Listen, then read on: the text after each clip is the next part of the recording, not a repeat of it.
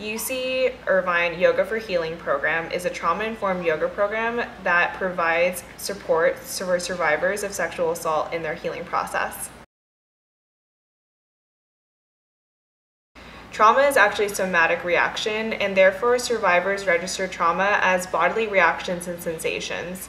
And these sensations may include anxiety, insomnia, migraines, numbness, sweaty palms, and also dysregulated breathing. Because of the effects of trauma that involve one's body, mind, and spirit, it's really important to incorporate techniques that allow survivors to reestablish the sense of comfort within their own physical bodies empower that innate capacity to heal, and really importantly, non verbally process without the confinement of language. And that is why trauma sensitive yoga provides survivors the opportunity to really engage and holistically heal in their process by incorporating all aspects of this human functioning and connecting all these aspects into fluid motions of breath to movement.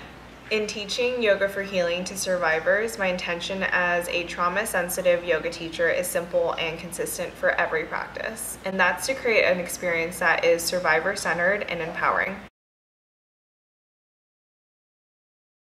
For more information, feel free to contact the CARE office in the information provided, also at the phone number 949 824 7273 and always feel free to stay up to date with the different events that are happening through the CARE Facebook page.